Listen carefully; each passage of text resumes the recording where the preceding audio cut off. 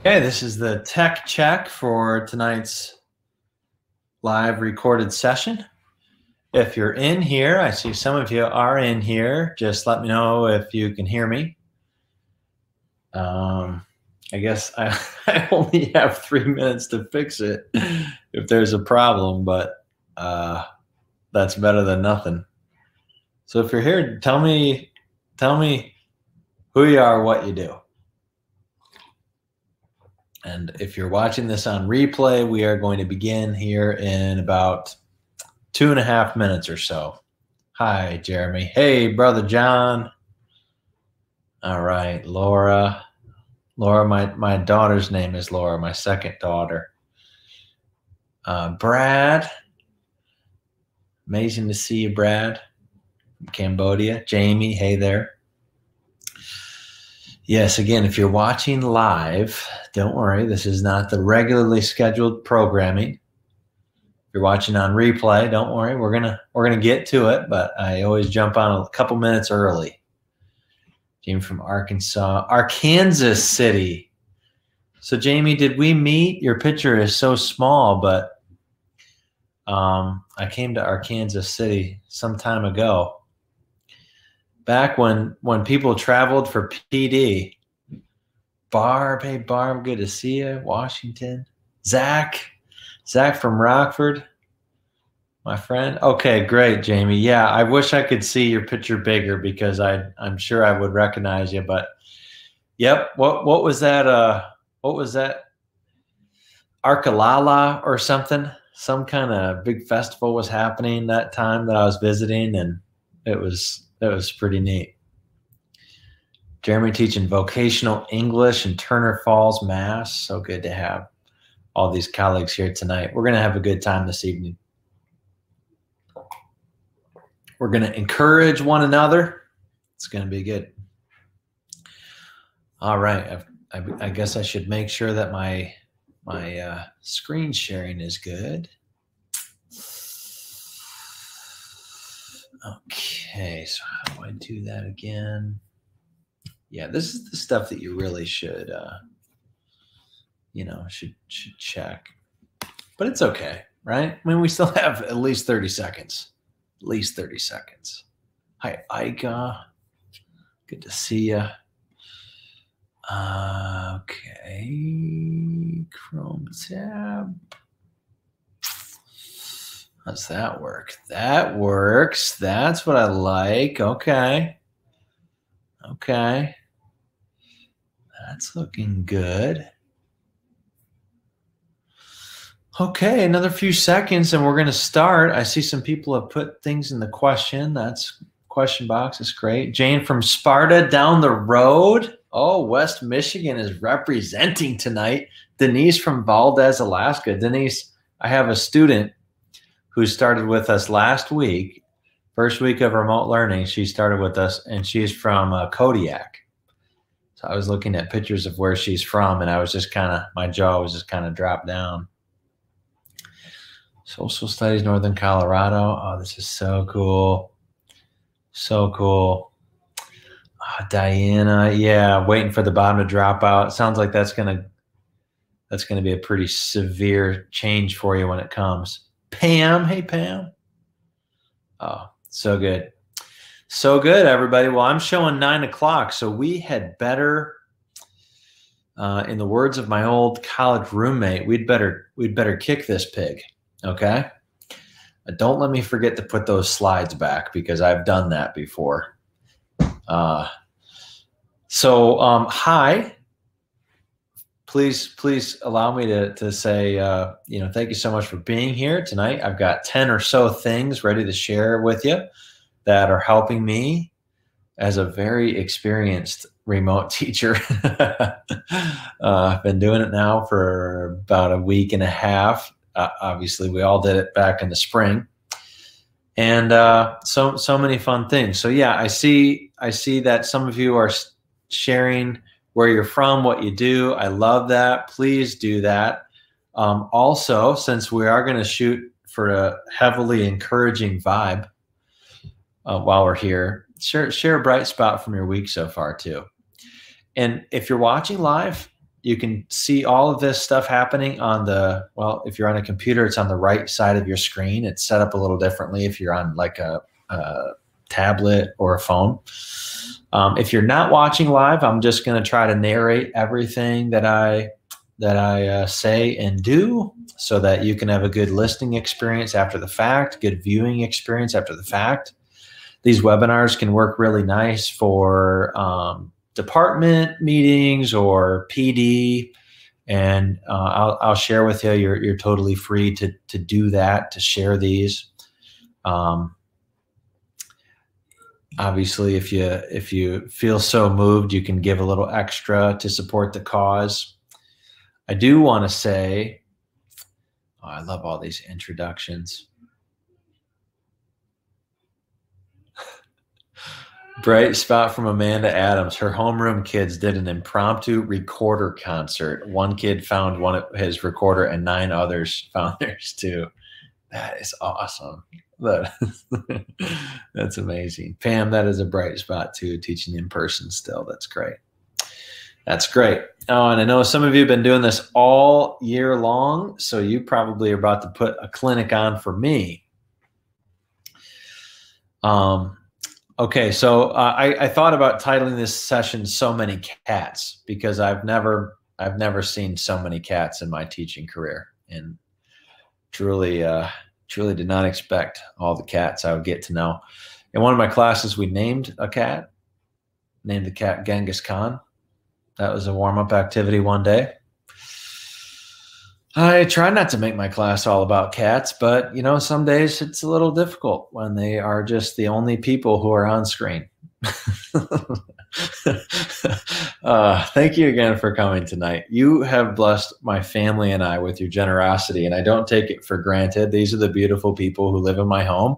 Some of whom, who knows, could be making a, uh, you know, celebrity guest appearances. We'll just have to see we we try to as a family all uh, really focus during these two hours when we do these webinars um, some of us focusing on being in our beds and like sleeping others focused on giving webinars but we'll see. We might switch roles. Um, i'm a high school teacher. If you're not familiar with my work i've been doing this now since 2006 i've taught sixth grade all the way through 12th grade mostly english language arts but for the last handful of years um, a lot of social studies. This year, all social studies. I teach ninth grade world history in a team taught setting, and I teach uh, ninth grade AP world history. So I've got just under 100 kids this year. COVID has affected a lot of things like teacher scheduling, so I'm not quite on a full load. And then I write. I write a lot about teaching and learning, and you should check out the blog if you never have. Lots of all kinds of words on that thing. And my key question is how do we how do we do this work really well without driving ourselves insane or our loved ones? So we've got kind of three headings in this session. Just like the last session that I did, if you didn't catch that, that was 10 or so things that are helping right now. And that really focused on uh, my work as a concurrent teacher. But this time we're gonna we're gonna look at my work as a as a remote teacher. So I think I've covered a lot of the logistics, but again, if you want to share this with a group, please do. Uh, any added giving is super welcome. If this makes you feel overwhelmed, it could do that. I'm going to share a lot of things with you. My objective is to be as useful to you as possible. And if you have to listen to this in 20 minute chunks over the next handful of days, that's awesome. That's great. So long as I provide you with lots of good things to think about um, perspectives on things that may enrich yours, deepen yours, challenge yours, um, solidify yours because you realize you really like how you're doing it versus how I'm doing it.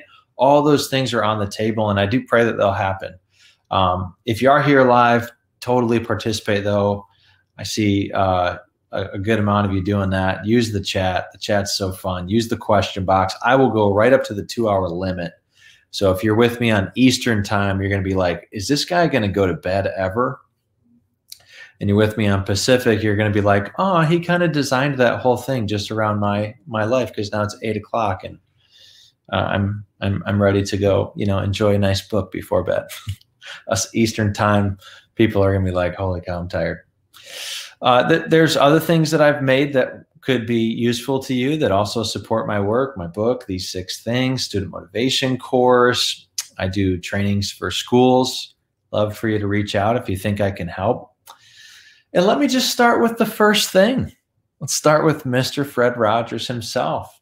He's been on my mind a lot these days. He's the first remote teacher, a little bit. Um, obviously, his context is really different. His television neighbors, um, uh, did, they never, they never, you know, talked back to him.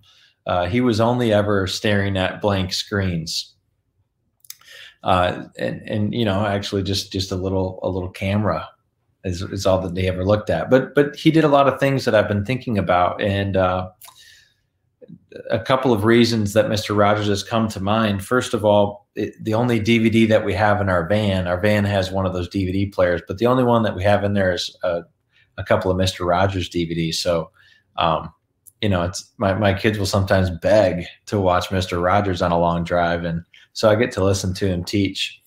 And I've also been enjoying this book, or I, I guess I, I, did enjoy this one Saturday. I was doing a lot of work outside, and um, I think Ryan Holiday he has a cool reading list that he, that he emails out. Um, he emails out the, the books that he read each month, and he mentioned this one, "Spiritual: The Simple Faith of Mister Rogers," and I just I just really appreciated it. Um, I, I appreciated understanding a little bit more what, what makes him tick. So uh, he has this kind of famous plaque hanging up in his office. Um, it's from The Little Prince, and it, it translates to what is essential is invisible to the eye. And I think that's so important as we consider the many confounding variables. I mean, every day I'm overwhelmed by how much complexity there is with with our job always, but especially during remote teaching. So I, I like to come back to this line of Mr. Rogers. By the way, can anyone take their shoes off better than this guy and like put their other shoes on? Anybody while singing? No, nobody can. That's the answer.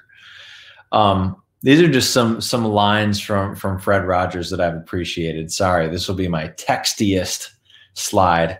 Uh, textiest, not sexiest. Okay, I, I wouldn't say that it's that.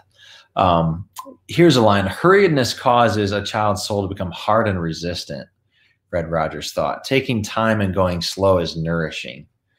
Sometimes i feel this intense need to do everything so fast. Fast with my students fast with myself. Rogers uh, said for me being quiet and slow is being myself. That's my gift. What what I like about this line is that Fred Rogers was never trying to be what people said that he should be as a remote instructor. He was just trying to be who he was. And I think that my generation especially and people younger than me, we can take authenticity like too far in my opinion and become hyper narcissistic. I don't get the sense that Fred Rogers was like was like that at all but he was really interested in not pretending unless you're trying to pretend, you know? So the land of make believe, awesome. Pretending to be something that you're not, not awesome. I think this is what he means when he says that one of the greatest gifts we can give anybody is one more honest adult.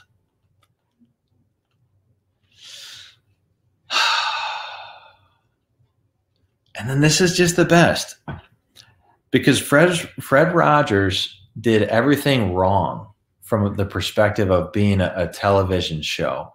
Everything wrong. I mean, it, no special effects, no whiz bang, super repetitive program, the same old blocks of learning every time. He'd mix them around, play around with them. I mean, no one did the things that he did on his show better, but but he wasn't doing the things that you were supposed to do. He wasn't doing the trendy things. He wasn't constantly reinventing the wheel he just was doing a super simple thing again and again. It's amazing to watch his show. Um, and I love too that that he didn't spend all his time on TV studying TV. The guy, when he when he had leisure opportunities, he would read, which is good food for my thinking because sometimes I feel like I've got to I've got to uh, you know read all the latest and greatest about remote learning and that's that's not that's not really true So I just want to ground us in some Fred. And now let's talk about instruction. Okay. Let's go, Stuart. Give us some meat and potatoes, man. All right. So last time I shared an instructional model that I was using. I'm going to quickly retouch it in case you weren't there last time. Um, and, and I want to talk about how it transitioned. Okay. So what we were doing is concurrent teaching. There's really no such thing as in-person teaching this school year. I I've I have found that to be true. I've heard that from many people because even when we were in person, there were always any number of students on any given day who were uh, quarantining or isolating or absent or whatever. So you had to provide an adequate learning experience for absent students while also teaching in-person students. That's what Catlin Tucker means by concurrent teaching. So on November 5th, we got the news that that was over for us at our high school and that the following Monday, so, so that was a Thursday, the following Monday, we were, no, I'm sorry, that was a Friday. Um, the following Monday, we, we were going to be starting remote teaching, which was, uh, you know, something that we had been ready for, been told like, hey, th- this is what we're doing. We'd spent time in August getting ready for this, but but here it was. Okay. And the model that we were switching to is basically a school schedule, but slightly abbreviated. So classes went down from 60 minutes at the high school per class down to now they're 45 minutes. And the intention was that you're going to spend about half of that time synchronous uh, with with your whole class, and about half of that time uh, supporting individuals or small groups. All right, that that's that's the model that our school went with. Okay, so how has it worked? What I was doing before we shifted to remote, how how has that shifted to remote teaching? Um, so, so, so here's what I was doing. I was doing what Catlin Tucker calls the playlist model. Okay. Mine was not sophisticated. Catlin Tucker is a blended learning guru. She's been writing about this way before um, it was hyper profitable to do so. Okay. She's, she's been invested in this for a long time. Her work is excellent, but it's heavily sophisticated, way beyond my pay grade as a blended teacher right now or a remote teacher or or what have you. But I liked this idea of a playlist that students would work through semi-autonomously. And so I started to mess around with a super basic version of that. Um, whenever I'm thinking about instruction, I'm trying to filter it through a one sentence encapsulation of my work. I call this an Everest sentence. So if you've been reading for a while, you're familiar with this. Uh, chapter one of my book is all about the Everest sentence and what we get from focusing our work. This year, I made a change to my Everest sentence and I really focused on knowledge building. Did so much thinking about equitable outcomes this summer, um, partly because of what was going on in the world, partly because of just a growing conviction that my research really my research and my work in the classroom started to really clash in this idea of some students really by the time they get to high school there, there's a major there's a major gap and it's really difficult for students on the wrong side of that. Um, and i just started to realize that a knowledge rich learning experience k-12 can can fix that. So you can see here on this on the screen that right right now this school year we're all about growing in our knowledge of world history, knowledge of ourselves, and knowledge of life and long term flourishing. So the top is my job. That's what I'm paid by my school this year to do. That's my task. Nobody else is tasked with teaching my students world history. Nobody. So that's really important to have at the top. But then along the way, partly because I want to make my class a, a motivating learning experience for my students, and partly because I think world history is most useful to us when it when when learning about it becomes a way to to mature ourselves. I, I also like these pieces that that talk about ourselves and life and long term flourishing. So the question is for I mean really whatever sentence allows you to do is plug your ears and ignore a lot of the fads, ignore a lot of the buzzwords everything that you're doing is filtering through that sentence. And if it's a good sentence that has some academic rock in it and some whole student stuff in it too, after all, they are they are whole people. I always you know, it, it, it kind of gives me a kick when people talk about teaching the whole child because you're always teaching the whole child. It's just whether or not you're doing that intelligently and verbally and effectively is, is another question. Uh, I, I want to filter all these things through my Everest sentence. Okay. And that's really all that these six things is about. These six things is my, I guess you could say, treatise on why I'm okay with being amateur, with being very, very average, if not below average, in almost every area of teaching, except I want to be as good as I can possibly be at cultivating the five key beliefs beneath student motivation. We'll look at that a little bit today. Providing a knowledge rich curriculum, a generous feast for my students.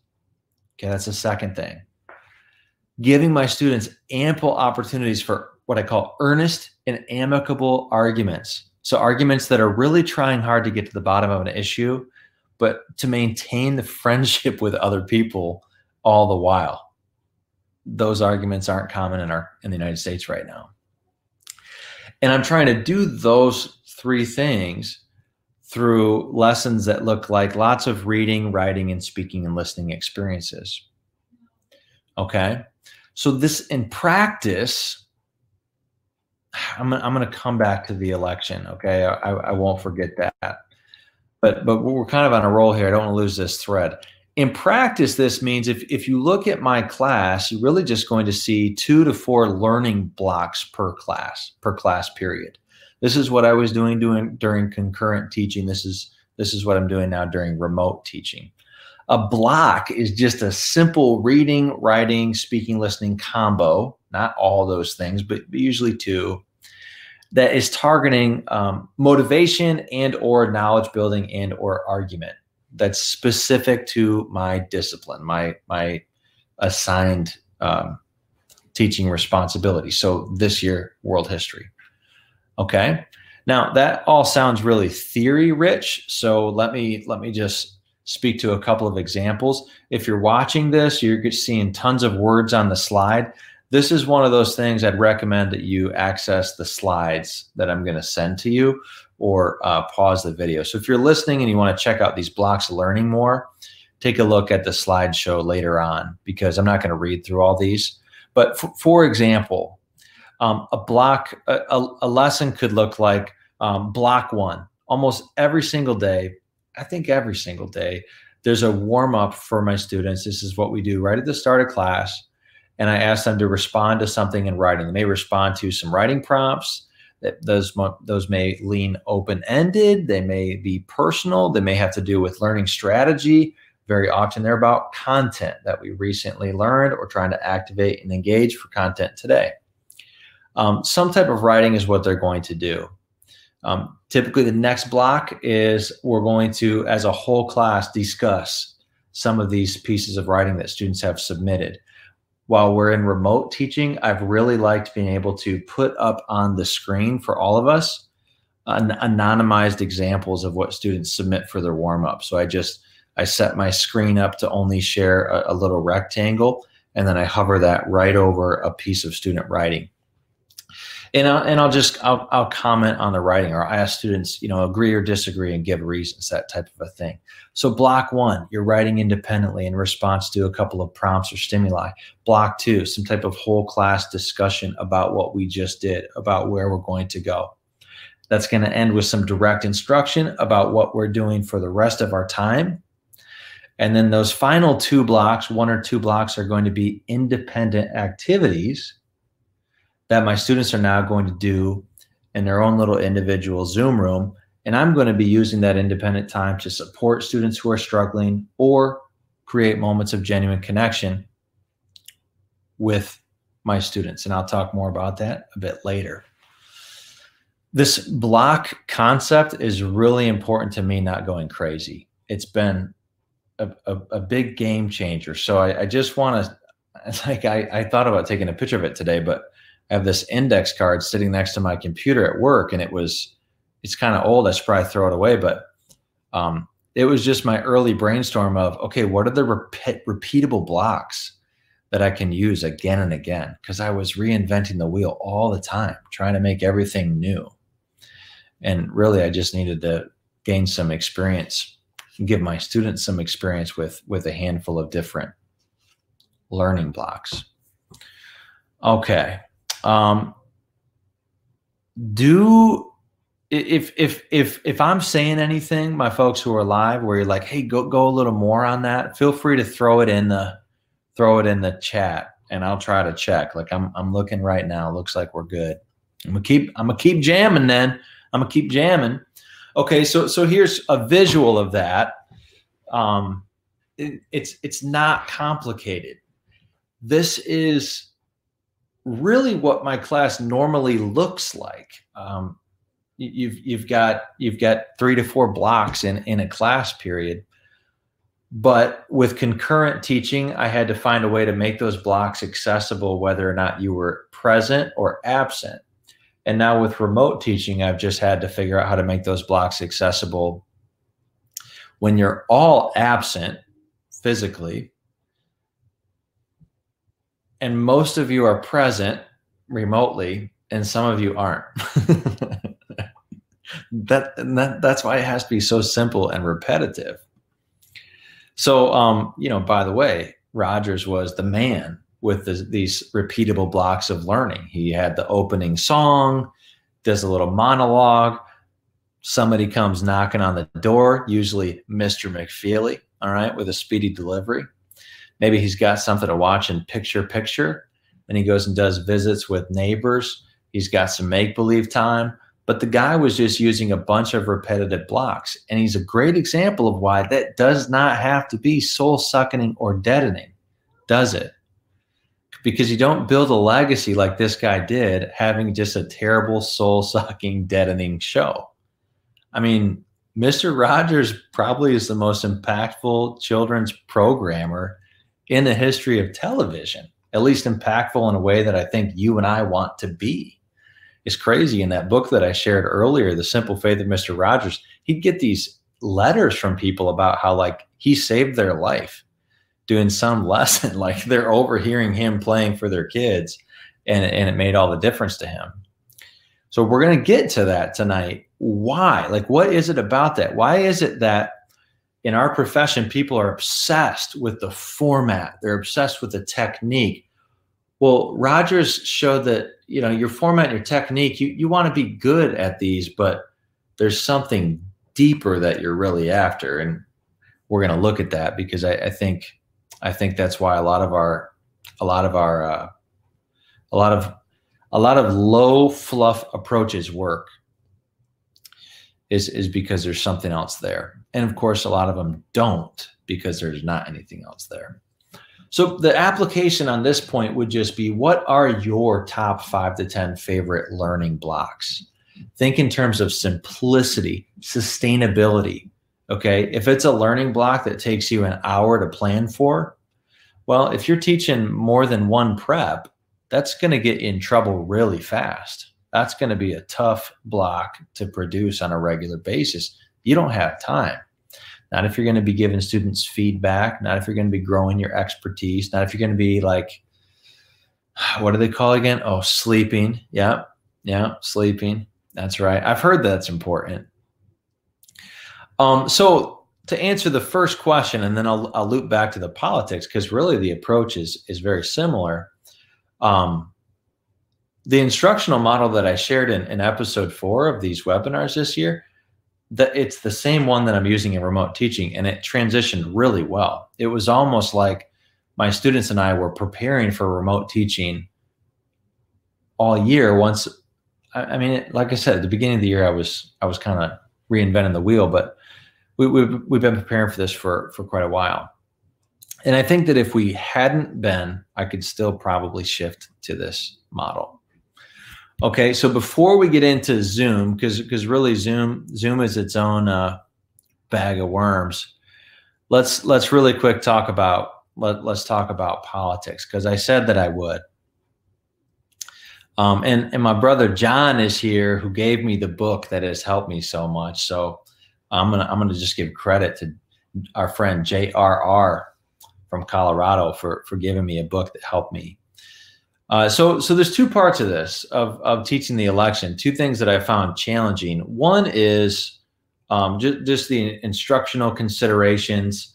If I want my students to engage in earnest and amicable discussion and conversation, and argument around something as explosive as American politics in 2020, um, there's there there's a ton that that has to just go into the considering about the instruction.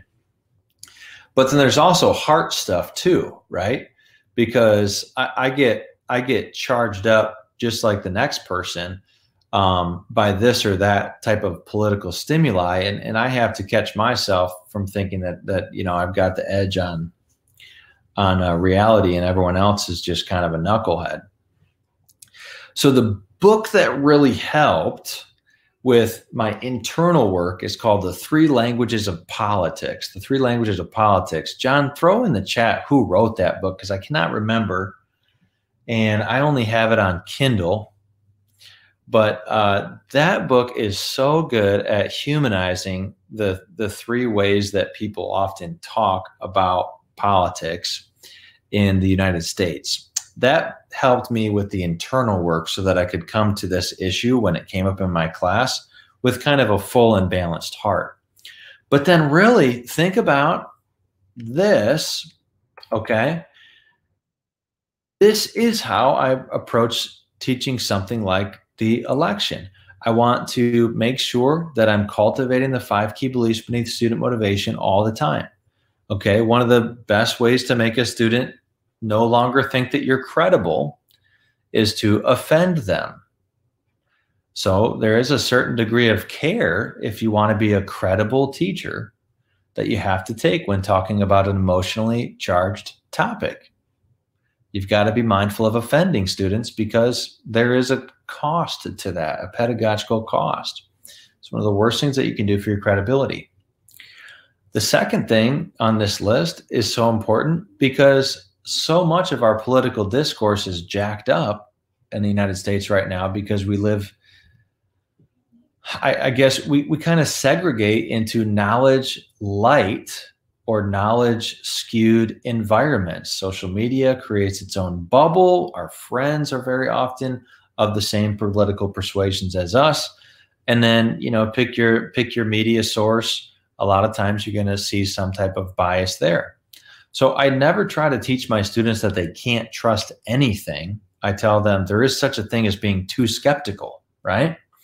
Um, if I if I sit here and and I'm skeptical that uh, you know I'm I'm talking to you through a computer, and if I, I I'm like, okay, but am I really talking to you through a computer? Is there something else going on here? It would be very silly, right? Waste of time, Dave.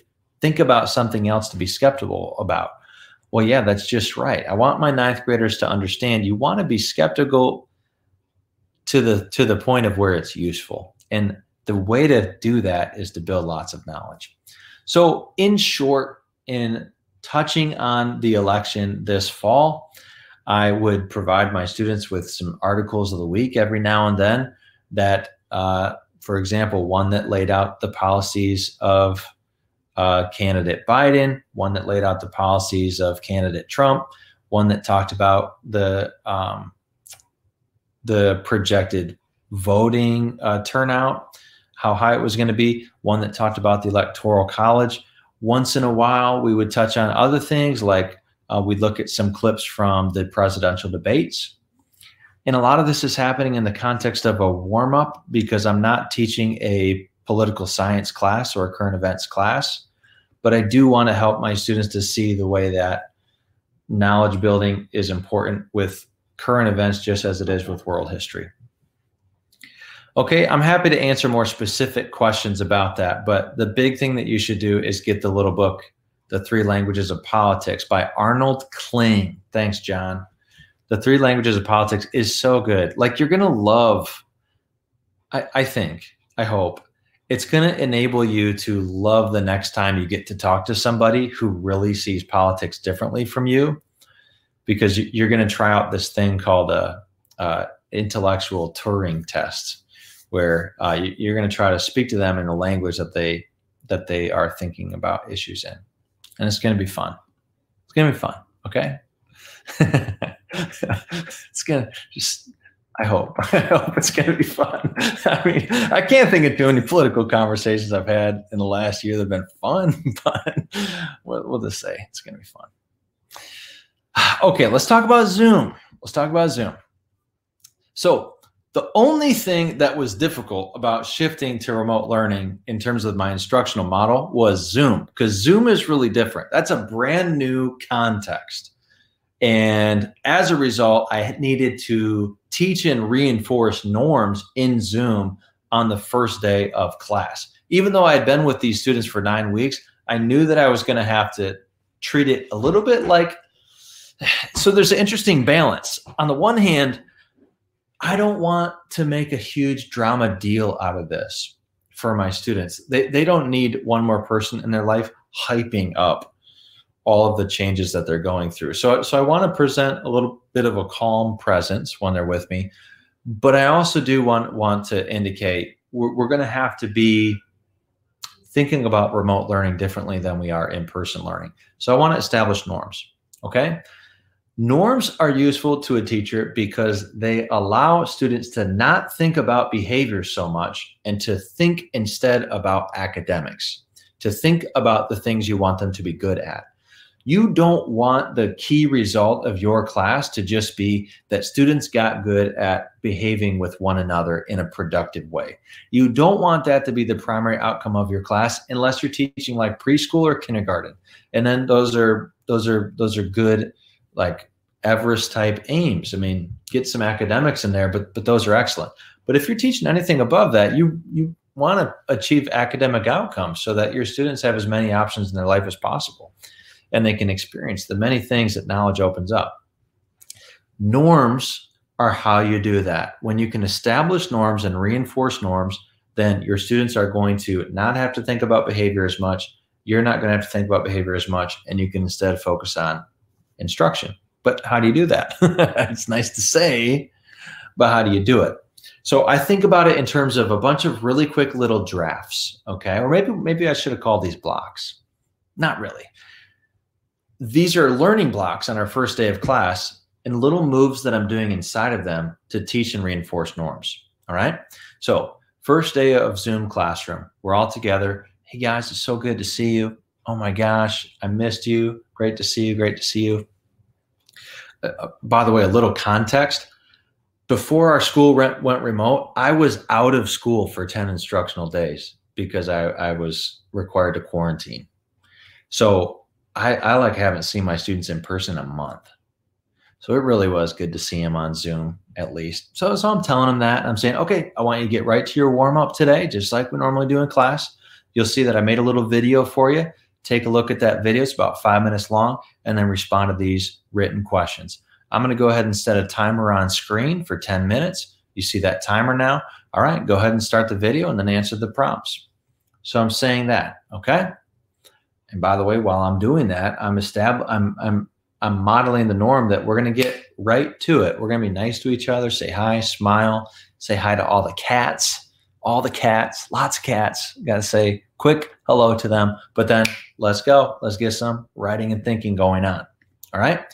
And what I'm having my students do here, sorry, that, that link is cut off, but that link comes up later, is I'm having them watch this little video that I whipped together. I just, it kind of struck me on my one day of prep for remote learning. Um, I'm going to do five tips, five tips for my students on how to learn remotely and enjoy their life too. That's how I'm going to frame remote learning. I'm going to frame it as hey, we might as well view this as an opportunity to potentially do school a little more efficiently. And then what types of things can you use that extra time for? What types of things could you explore? Could you do? Could you practice? Could you research? Um, what what fun could you have, right? So so I framed it like that. They're ninth graders. They're very interested in freedom. Um, freedom from adults like me. so so I go through these tips. You can watch this video if you want. It's on my YouTube channel. I'll, I'll give you a link um, in in a little bit. There's there's another slide that has the link. And then after they watch this video where I walk through five tips, then they click reply. And I want them to be processing, reflecting, applying, goal setting about those tips that I just gave. Okay. Those tips really are just a way to get them thinking strategically about remote learning because that's a norm. I don't want my students going through the motions in school. I want them to becoming intelligent learners, people who learn on purpose, people who are growing in their understanding of how learning works and how to do it most effectively because I, I, I think that's incredibly powerful. Okay. That second draft, they're writing about what, about those tips that I gave them. Draft three, now we're doing a whole class conversation after the warm up. As soon as that warm up timer goes off, I tell my students, hey guys, when, when we're done with warm ups, I'm going to call on some of you randomly, just like when we're in class. It's not like a getcha. It's not, I'm not trying to catch you. I'm just trying to hear from all of you. I want all of you to be heard by all of us at least once per week. So they can kind of see me with my clipboard and they know I'm going to call on all of them at least once during this post warm up whole class conversation time. And and so that's kind of implicitly establishing a norm or connecting to a norm we already had. All right. So now we're we're talking about, we're elaborating a little bit on what different people have contributed. Next up, I'm going back to direct instruction real briefly. I'm trying to connect some threads to things that we've established in my class. So, for example, if you look up skull and crossbones list, Dave Stuart, you can Google that skull and crossbones list, Dave Stuart. You'll see this this concept that I use to make my students just um, practice their best writing habits versus you know do you ever do you ever get students who don't capitalize things properly and they clearly have known how to do that since you know second or third grade but they just don't do it because they've learned that they don't have to? The skull and crossbones list is about that. You can again read about that on the internet or in my book in the writing chapter. So I'm, I'm working through those types of things. Really quick hits. Want to give them an idea of how we're going to run our class. Um, but I'm not trying to spend a ton of time here because I'm also trying to establish the norm of I respect you, you're intelligent, and I know that you get this. So um, let me just quickly touch on it. Now, some of my students don't get it or don't want to get it, and they're going to push back. So, for example, one of my norms is don't engage in distracting behaviors because you're inhibiting everyone else's ability to learn. So I don't want silly faces on Zoom. I don't want you flashing Zoom on and off your, your video on and off. I, you know, um, and, and, I get that we all make mistakes. So I'm going to gently remind you and then we'll go from there. But like, I, I don't, you, you can't do that stuff in my class. And that's what I've got to reinforce. So we'll talk about that next, what I did with a kid who misbehaved um, pretty, pretty significantly on the first day. But just take a look. All that we're doing in trying to establish norms, all I'm trying to doing, all, all I'm trying to do is touch on this really the same idea a bunch of different ways through listening, writing, speaking, listening, and then a bunch of little pretty low effort by me reinforcement. Okay, that's it. That's it. I've heard other colleagues over the years. I, I sometimes hear colleagues frame norms like um, you know, they, they go straight to consequence, straight to consequence. This is what will happen if you don't do it. Consequences aren't bad, but but you don't want to make consequences the number one reason why you don't want to break a norm. You want to frame it a little more like like it's good. It's just it's, life's a lot easier when you don't, you know, make faces on Zoom. It's just gonna be a little better. And we teach them, teach them, teach them, teach them, teach them, right? We don't assume that they that they know all these things that they that they can do all these things. Um, just taking a look here at the chat. So amanda they answer my warm-up in in the it's called an announcement in canvas. They just click reply uh, right on the announcement. That's where the whole lesson is is kind of presented in a daily announcement. They click reply and they just answer right there. So that way i've got a permanent record of it I think Google Classroom, you can do something like that, I think, and probably the other platforms. I don't know. Uh, Matt saying, do you, do you ever offer policy perspectives anonymously rather than attributed to one of the candidates, or were they always identified? Matt, I'm going to throw that in the question box um, because I want to I want to loop back to that when we're back to that. Uh, sorry that I missed that one when we were when we were at it. Uh, Amanda, it might be like an update in Schoology. It, it's it's it, it's always there for the students, so they have a record of, you know, hey, this is what happened on this day, and one of the frustrating things about a lot of these learning management systems is that there's multiple pretty good ways to organize your stuff for students. So I just like I like that announcement uh, thing. Yeah, and uh, Bride, you're saying we can't we can't in your district require kids to have cameras on. Me neither. Um, we we cannot require to have cameras on. So um, I, I, know that I've got language on one of these slides saying uh, uh, yeah, distracting.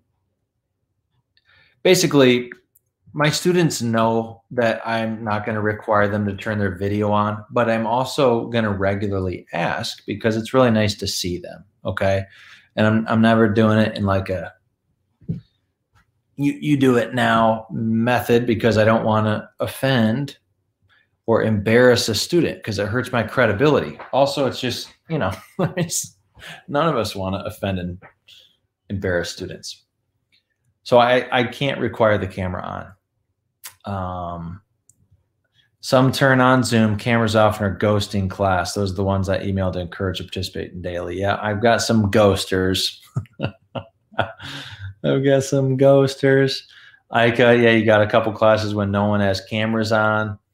Um, and and Ika, I'm going to put your your question as as one that we'll touch later because Ika's in a school that's been remote the whole school year, and so when you're that far established now, and, and you've got classes where no one turns video on, now you have a norm of which which is probably system wide. You know, it's not just an Ika thing, but now you have a norm of we don't turn videos on, and it'd be weird if I did. So I'm going to point to a really good resource for that, Ika, when I answer your question later.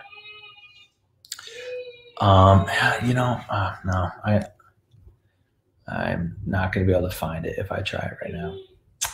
All right, cool. I, I, I love what I'm seeing in the chat. Check out the chat if you're uh, here or after the fact, but I got I better keep whipping. Make sure to put your questions in the question spot on this platform if you want to make sure that I see them. Okay. okay, misbehaviors. So here's the deal. I told this story in a blog post yesterday, but I, I did have a student who was doing this thing where he was flashing his video on and off with with a with a peer. All right, they're, they're doing the, the flash on and off thing, and that's a really smart misbehavior in Zoom because you can't mute a student's video unless their video is on in Zoom. And when they just flash on for like one second and you know make a face, you can never catch it and mute it.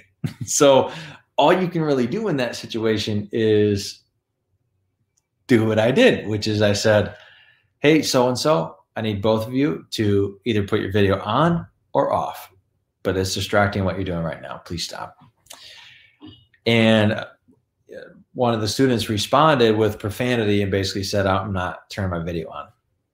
Okay, well, as soon as you use profanity towards a person, that's that's like one of the few things I'll send you out of class for.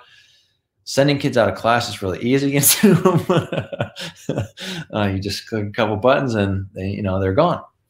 All right, but obviously, as soon as class is over, I'm I'm concerned about this because it's not a great start. This is the first day of Zoom, not good. Okay. I don't want this for that student. I don't want like, I, I don't feel, you know, well, well, good. That, that kid's out of there. Um, I, I'm concerned. This is not a good first day.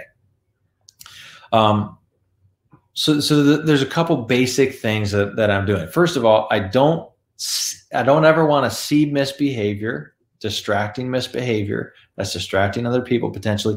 I don't ever want to see that and not do anything about it. Okay. Um, if I've said that this is going to be normal for our class, then I just need to have robotic consistency and reinforcing it. And now that may end up driving me insane because I've picked something that's not worth, uh, you know, it's not a hill worth dying on. And so I may need to adjust down the road. But if I want it to be a norm, then I'm in charge of reinforcing it, me. That's no one else's job. I'm that guy.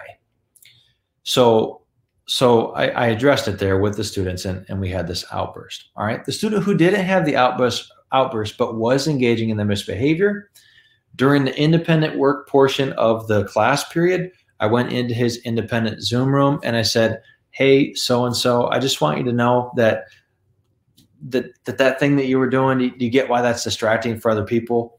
Okay, yeah. And hey, could you say to other student, I know, I know you guys are, are buddies, just tell him I hope to see him tomorrow. I hope to see him tomorrow. Tell him no hard feelings. I want to see him back in class. Okay, okay, I will, Mr. Stuart. All right, so so I've basically sought to reinforce the norm and repair the relationship if there's need for repair with that student who didn't get kicked out of class. Now, the student who did get, get kicked out of class didn't come to class the next day. And so the third day, I'm thinking, I really hope this guy shows up. Otherwise, I'm calling home going to try to connect that way. Um, he, he did show up as soon as I had the opportunity. As soon as we were into the independent work portion of the lesson, and they're in independent Zoom rooms, I pop straight to his Zoom room and I say, "Hey, I just want you to know it's not hard feelings here. Okay, you understand why I had to, you know, send you out of class? Yeah, I shouldn't have said. Okay, all right, good. Um, and then we just started to talk about video games or something. Because with this particular student, I'm working what what uh, I'm working what's called a two by ten. So if you Google two x ten, you'll see a bunch of articles. Well, I guess you should you should say two by ten teaching or two by ten classroom management. You see a bunch of articles about that strategy. Really basic strategy for um, improving things with your most the student you're most concerned about in the class anyways, that's how I handled it. So good, bad, otherwise. We ended on the third day of class with there not being any harm between our relationship, which is always on us as teachers first. Like we're the ones who need to work through the stuff in us and not take these things personally.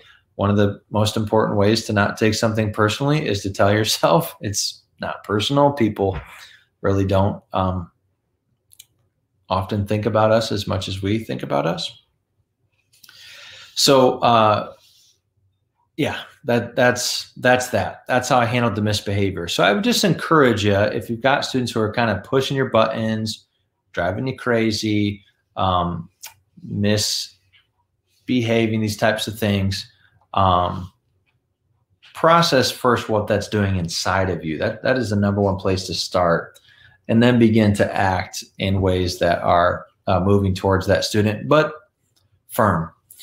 The culturally relevant pedagogy literature calls this a warm, authoritative, warmly authoritative, warmly authoritative approach to teaching. It it it, uh, it works. That's also language from the parenting literature. Okay. All right, what's what's popping so far? Let, let's get some let's get some audience interaction. We're doing good on time. What's what's popping?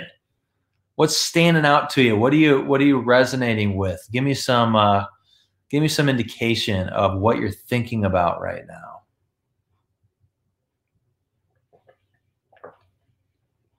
I'm seeing a lot of people with the video off problem. Okay, while you are telling me what you're taking away, I'm going to pull up I'm going to pull up something that I think you will appreciate. Right. This is an article that came out recently. It's like 20 different ideas for getting students to turn their video on. I did not write it, um, but I had thought about maybe two of these ideas already. So, so the article really helped me. Yeah, persuading reluctant students to turn on their cameras. So this is just going to kind of be a smorgasbord. It's from Edutopia. Um, you know, I, I, don't always swear by the content on Edutopia, but but I, I found this to be a generative article for me. Okay, so there it is in the chat, and let me just throw it in the slides in case you're watching, um, in case you're listening later and wanna wanna find this. Okay. All right. I'm about to check what you all are saying in the chat, but um, yeah, there's there's that link now. It's in the slides. Yeah, I could check the article out. I I I, I was intrigued by it. Listen, folks, when if you are in that situation where you've been doing this from the beginning of the year and you've got like a bunch of totally blank Zoom screens, one of the things too is just to realize like this is brutal and all we're responsible for in brutal teaching circumstances is trying something, trying something each day, um, doing the inner work, doing the teaching work where we are attempting to communicate about this differently. Also, I love if, when I'm facing impossible circumstances to boil down what would the tiniest possible move in the right direction look like. So that would be, you know, like getting a student to show, um, you know, a picture of their of their art or something. If, if I'm an art teacher, while I'm one on one with them in Zoom, something like that. Um, I remember Doug Fisher too. He had a comment in a session that I went to a number of months ago where he said a lot of students are they, they don't like seeing themselves on camera. So his advice was teach them how to hide self view. I've also heard that really helps with stress. Like like um, I've I've heard that makes a day on Zoom a lot less stressful when you don't see yourself there all the time. So might be something to, to try out for you too. People can see you, but you can't see you. And I can see where that would help. Uh, great. So Beth is saying we're going to pilot our remote learning plan with students coming up in December. How am I to prepare my teachers I work with for this? So um, Beth, I, I would say the, the biggest thing I would say to your teachers, first of all, consider sending them a link to this um, session because the the comments about instructional model I think will be really helpful. Your teachers just have to think about how does what how does what I currently do how could that possibly shift to remote learning, and then now that you've answered that question, okay, how could I do like how, how could I start doing some of those things I'm going to have to do during remote learning in person? How can I make in person look a little more like that, but with some of the goodies that in person gives you? Like, for example, you get to see all of their, all of their, at least I guess their eyeballs. You, you want them to not wait until they're piloting the remote program to start doing the remote type instructional experiments. Nice. Cool. I love the conversation people are having with each other. Yeah, and I got I missed I missed bookmarking your question about having students have all their cameras on, but um, but, but there we go. That's good. I'll just answer this one too. This is about instruction. James is asking, any ideas how to slow down cheating when kids take tests online? I say slow down because it seems impossible to completely stop it. I'm an AP world teacher just like you. I'm trying to give tests that are true to what the AP test will look like. Yeah, Zach loves your question, James, and so do I. It's a great question. I, you're wise to say slow down because uh, we're not omnipotent. There is almost always a way to cheat if you really, really, really, really, really want to cheat. My goal as a teacher is twofold. One, I want to take away any needless temptations that I can.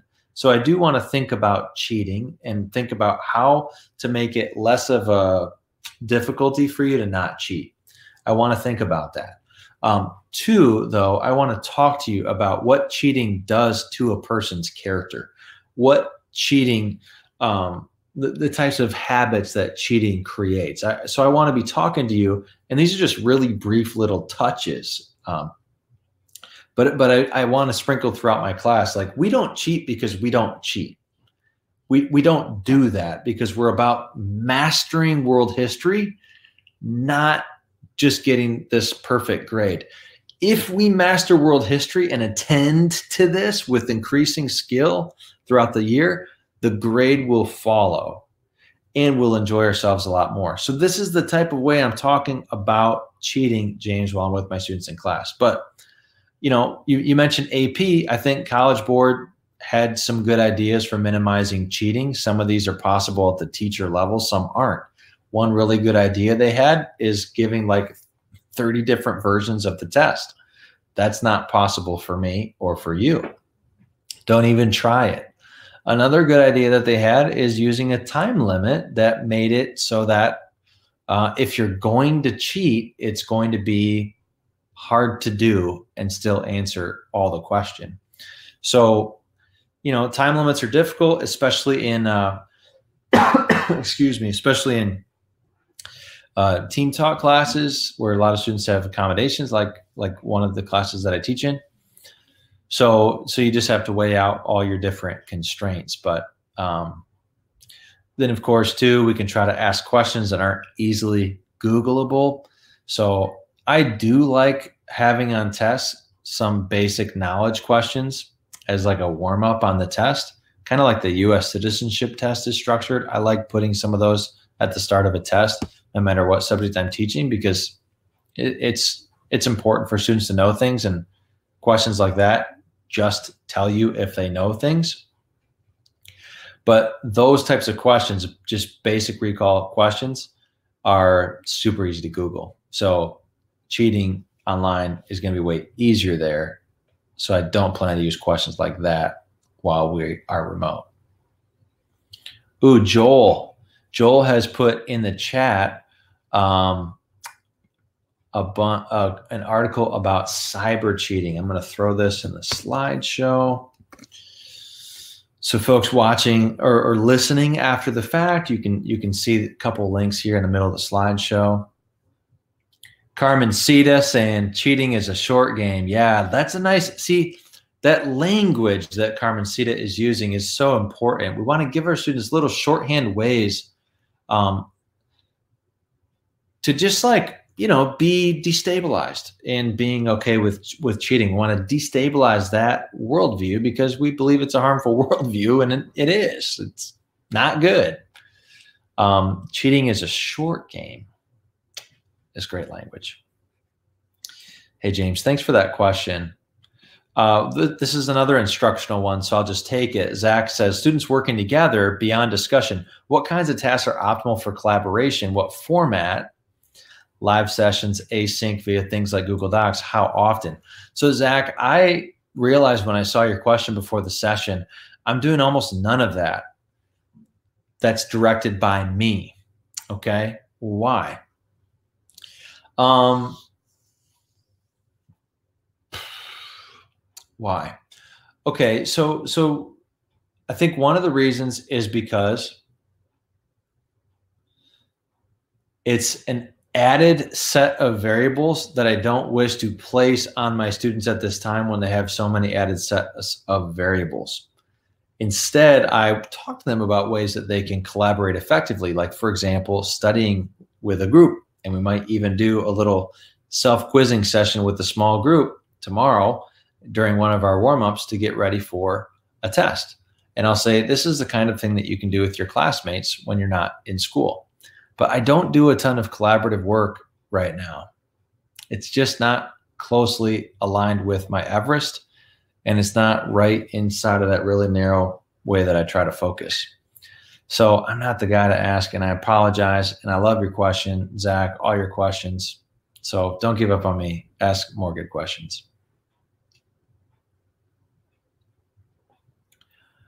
All right, cool. We're going to move to motivation. Uh, student motivation. This is the secret sauce. If there's a secret sauce to what I do, it's this. And I try as much as I can to not make it a secret at all because it's really good stuff. All right. So if you've been around for a hot second, then you know that I am big on student motivation. It's the first of the six things that I examine in the book these six things. And I believe it's why my really low fluff, zero flash approach to curriculum and instruction works. This is the number one reason that what I do works. Um, is because it, it's it's because if there's anything that I'm best at in teaching, it's creating the conditions where motivation isn't such a bother. And I still have tons of demotivated students. I still myself struggle with demotivation every day, but I'm always thinking about these five key beliefs and how to frame assignments and exercises and units, um, how to converse with students in ways that cultivate these things. All right. I've said many times if we don't get students to do stuff and do it with care, then we can design the best lesson in the world and it will produce next to nothing. Students ultimately have to do the work of learning in order to learn. That is just how the human mind works. You can't passively learn things. You've got to think, you've got to ask, you've got to read, you've got to uh, look up. So, since we want our classrooms to contribute to long term flourishing via mastery of whatever discipline we're tasked with teaching, then we have to figure out how to get more of our students to do work with care. Okay. And of course, the work that we ask them to do is really important. Busy work doesn't help much, no matter how careful you are with it. And uh, we, we don't just want to be pushing effort, effort, effort.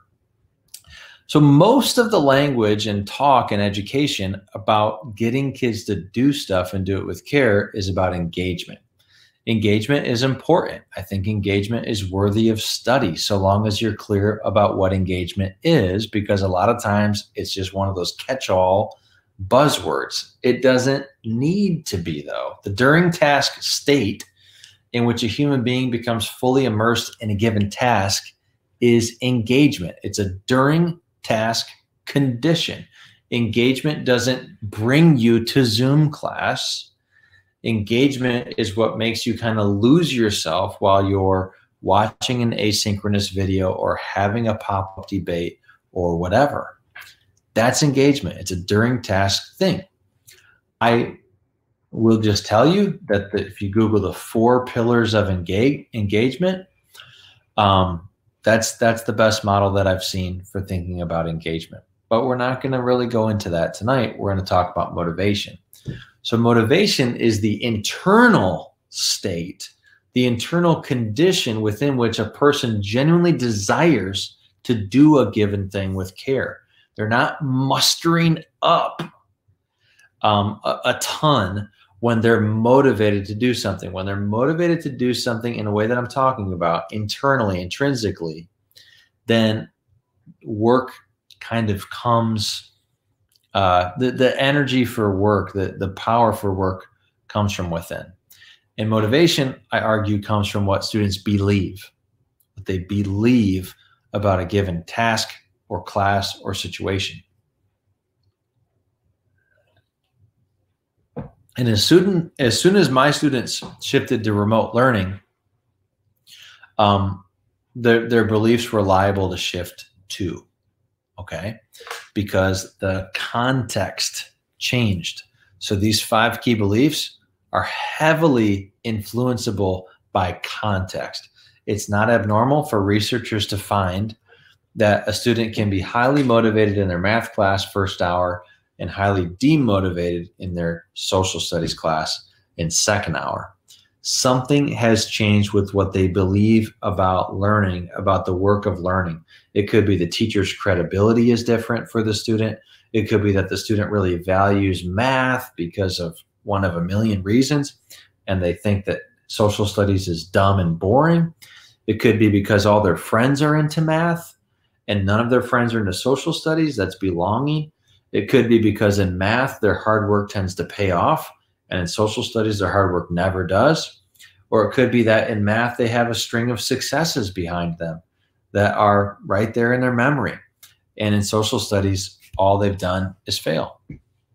The context is different.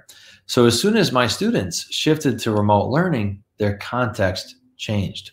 That's the most important thing that I'm thinking about when I'm working with my students remotely how has the context changed and how do I help to mitigate negative effects of that and exponentiate the positive effects of that? Okay, so I, I've written so much and thought so much about these beliefs. I don't want to get into crazy theory land right now, but but I will say this. So I was talking to uh, my friend John a couple weeks ago about this little spectrum here on the screen. So if you if you look up spectrum of human motivation in a given area with my name, you'll you'll find this this little uh, this image here. But basically, the five key beliefs are situated inside of a person on a spectrum. So when a kid's really motivated, they believe that their teacher's good at their job, that the work matters, and so on. And then when a child is you know, not so sure, then they're questioning or they're afraid or they don't believe.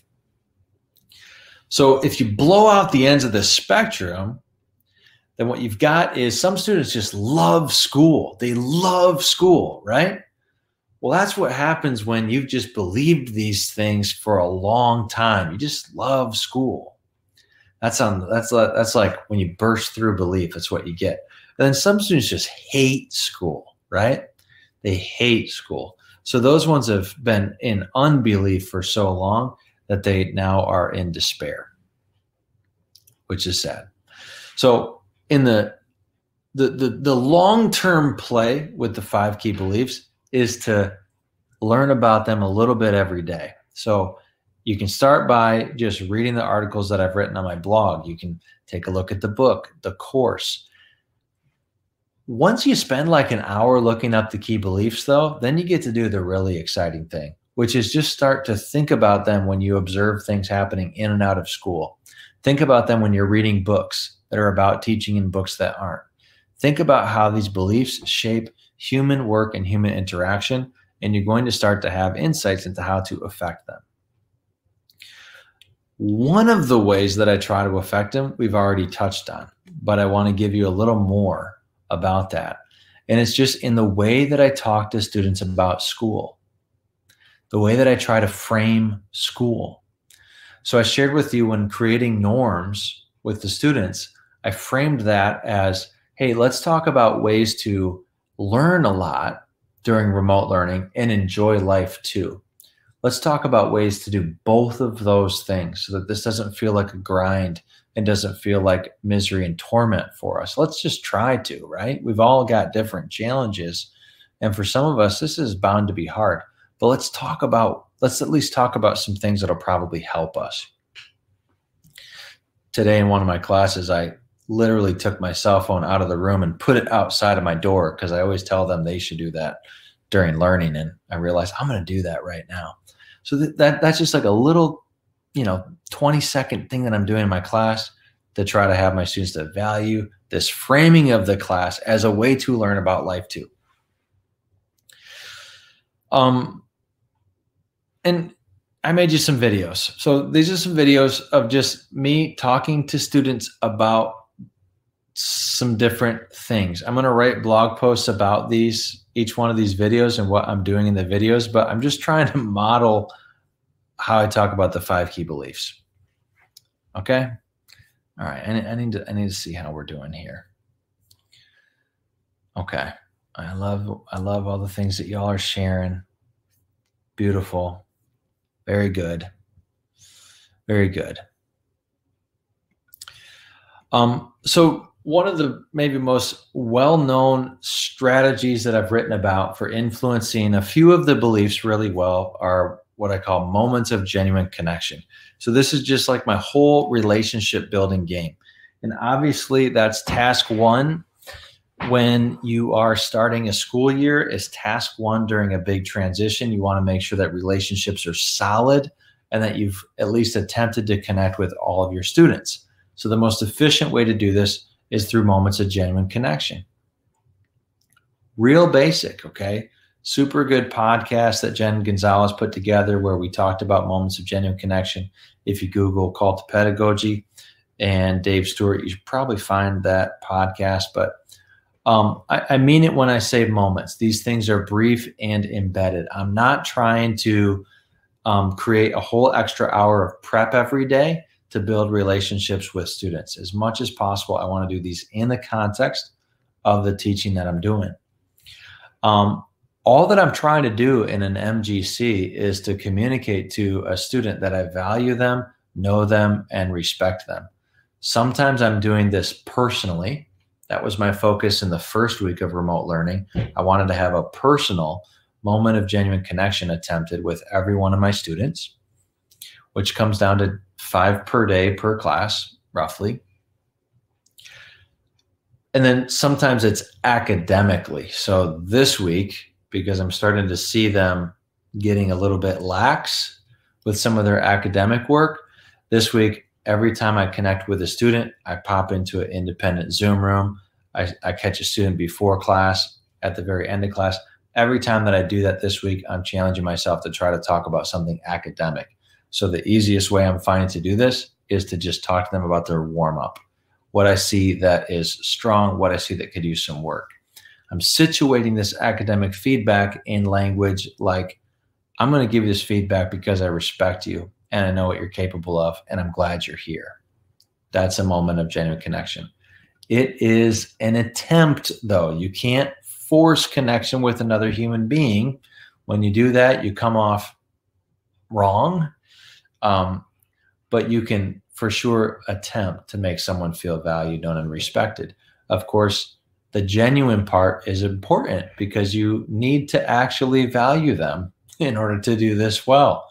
You've got to respect them to make these things more likely to work.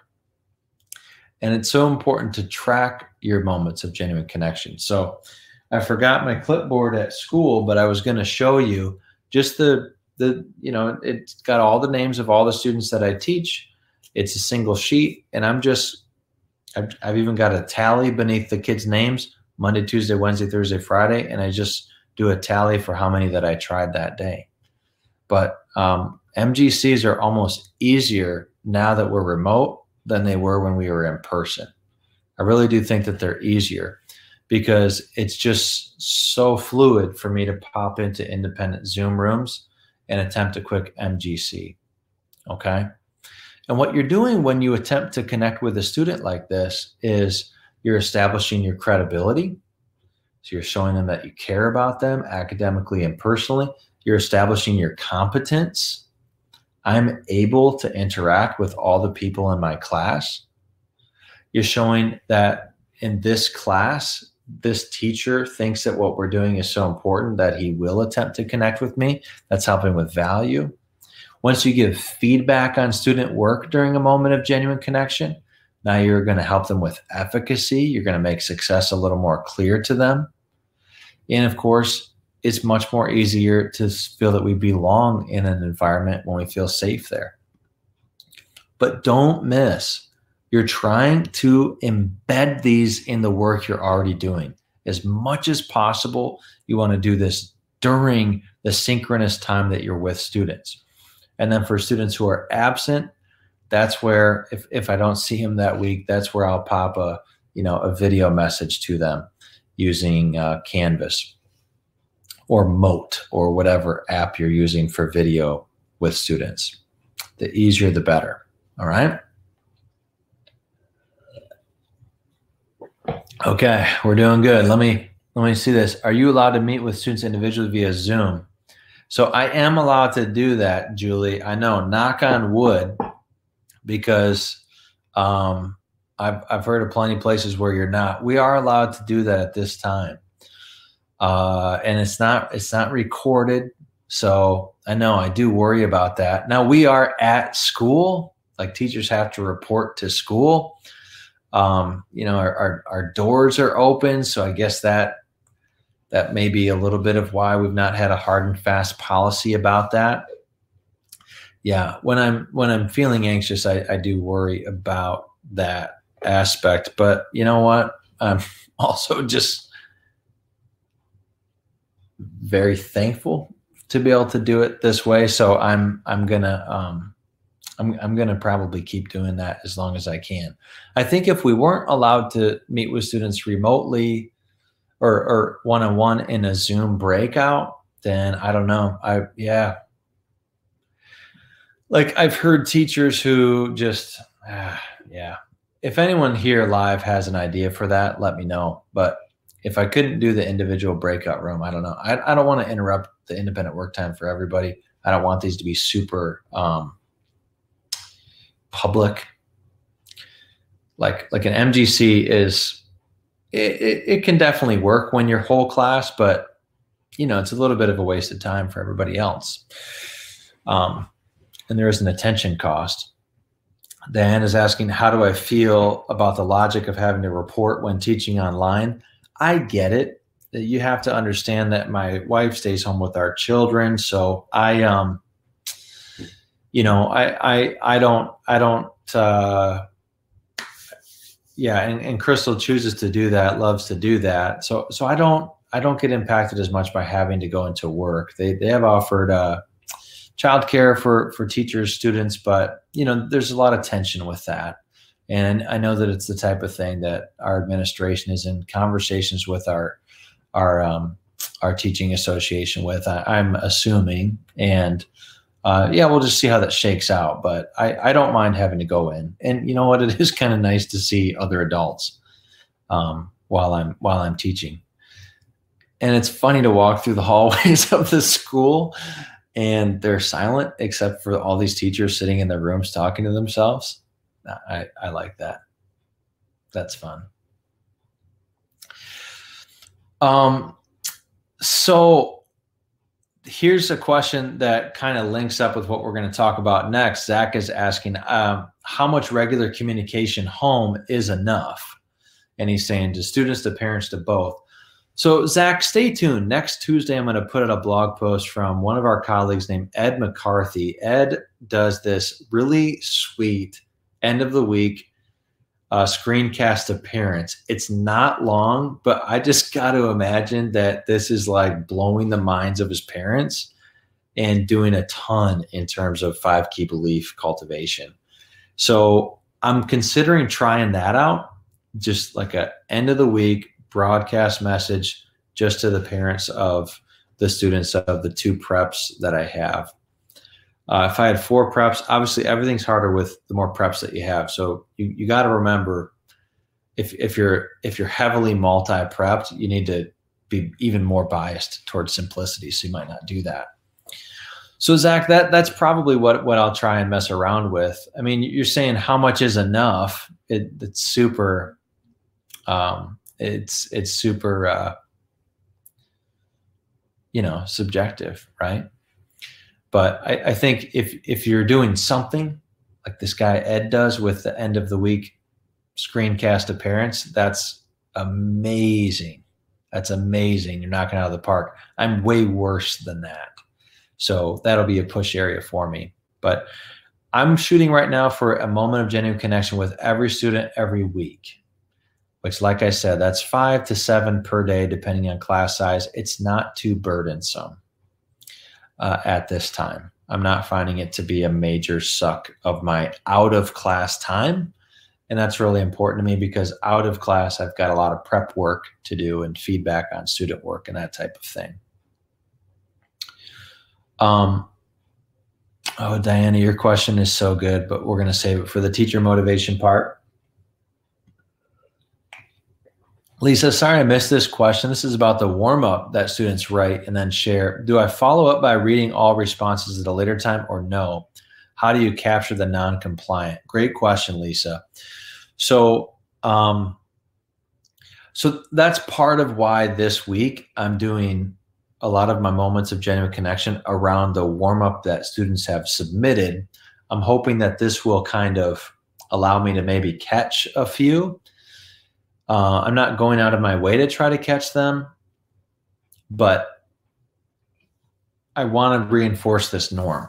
You know, so if it's rampant, if not doing the warm up is rampant, then I want to catch that and and really just give a student um, a tough moment of genuine connection where I have to say, hey, this isn't okay. Like, what's going on?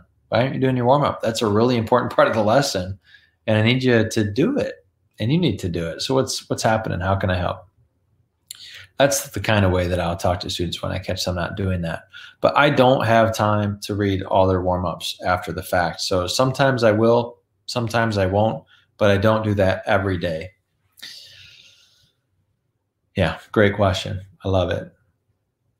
And and Lisa, that this links back to the reason that I don't have to do that um, the reason that I don't feel bad about not doing that is because of how much I'm always trying to influence these five key beliefs. Okay. the better we can get at creating belief rich environments for our students, the less that we're going to have to make sure that they comply because when we do check up on them every now and then we're going to find a lot of them are doing it well why are they doing doing it they're doing it what's matter they're doing it because we've been really explicit with what a successful warm-up looks like and we've given them proper specific praise or critique when they do or don't measure up to that these types of things make warm ups a lot more motivating. Your question's really, really good. Thanks for being so practical. Um, okay. Okay, cool. So Ellen's asking a, a, question How and why did your school decide to go with a compressed daily schedule? We'll be remote come Monday and are still looking at using a, a, a block A day, B day.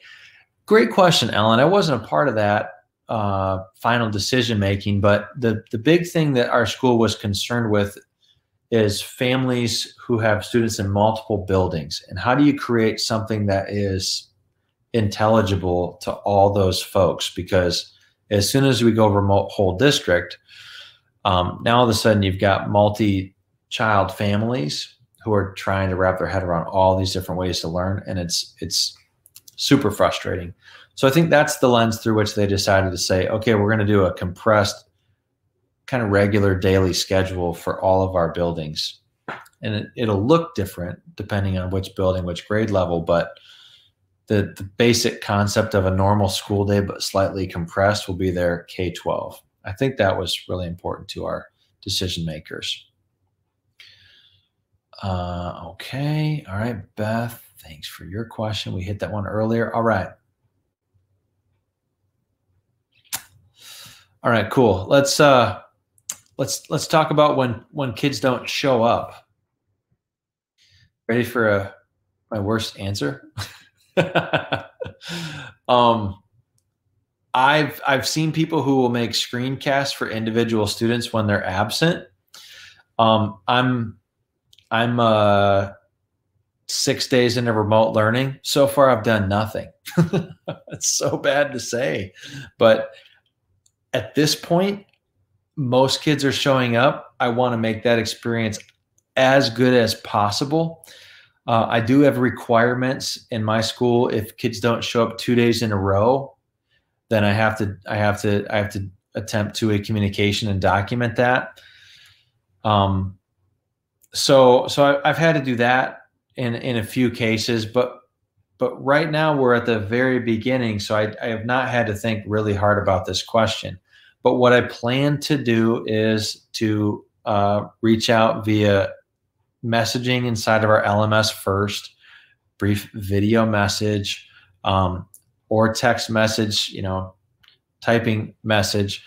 What, what I was doing when we were in person, but some students were quarantining and not showing up, is I was just saying, okay, you know, I, I need to interact with you on your warm up every day at least in order for you to be present today. And once I can get that habit established, now I can start to work on well, why are you not showing up? What's happening? So I was having to do more of what you're asking about in this question. I was having to do more of that when we were in person than now that we're remote so far. I expect it to get worse. But the number one thing that I say about things like this is we just do what we can do we do what we can do. So we attempt to reach out. We attempt to make the first step of coming back as as as easy as possible. When I find that students have ghosted me and they're there in the Zoom, but they don't respond when I call on them, then I make a note to follow up with them during the independent work time. And if they're still ghosting me, then I send a note and say, hey, if this happens again, I'll reach out to parents or guardians to try to figure out what's going on because I can't I can't get in touch with you. And I really want to. And I don't know, I hope that's not a threat. It's just me saying, I do care about you. It's important to me that you're able to be here and learn. And I get that some things are not in your control, right? Like maybe you're dealing with a sibling at that time. I just need to know so that we can figure out how to make this as good as possible for you. Okay, I mentioned this parent screencast thing. Take a take a look next Tuesday. Um, if you're listening to this the week before Thanksgiving 2020, next Tuesday I got a I got a post coming out featuring Ed's work. Okay, we enter we we round the bend to the final segment. Final segment. It's going to be on teacher motivation. So excited to talk to you about this because it's so important. so important. Um, Erin, Erin is saying this is helpful. She's saying that when when she has students absent, she sends an email of the recording with the slides to all absent students. So what I love about what Erin is saying there is that she's taking something that she already has, a recording that she made while while working with the students who attended class that day, and she's just popping that into an email and sending it to students. That's simplicity. Now, Erin also has a question, which I might as well answer since we're talking about Aaron.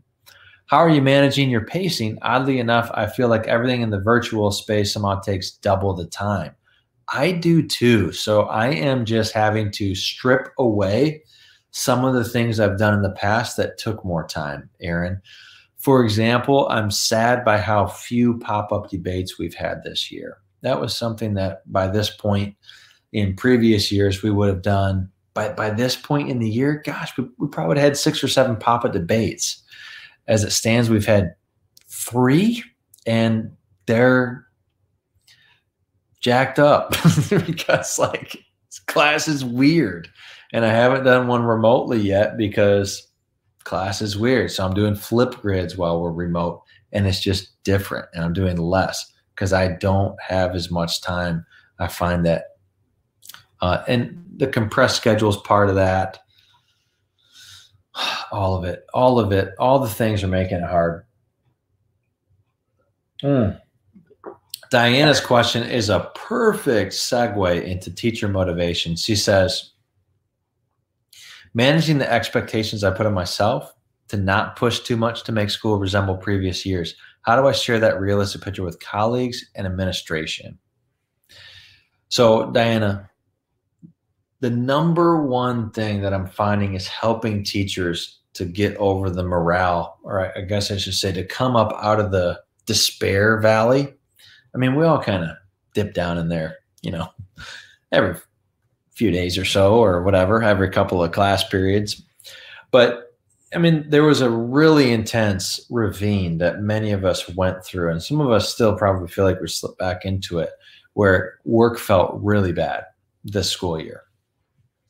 And I think the the the number one thing that has helped people is changing expectations and not using last year last year's pedagogy, last year's accomplishments prior to March, not using last year as the measuring st- stick is really important. So the the way that we share that with colleagues in administration, Diana, I think the best way to really get that to sink in for people is to share what you're doing in your class. What are you actually doing in your class that exemplifies how you've changed your expectations for yourself? Show them what instruction looks like, show them what your learning management system looks like, and talk about while you're showing them, talk about how this resem- this this is this way because of changes that you've had to make and what you're expecting of yourself.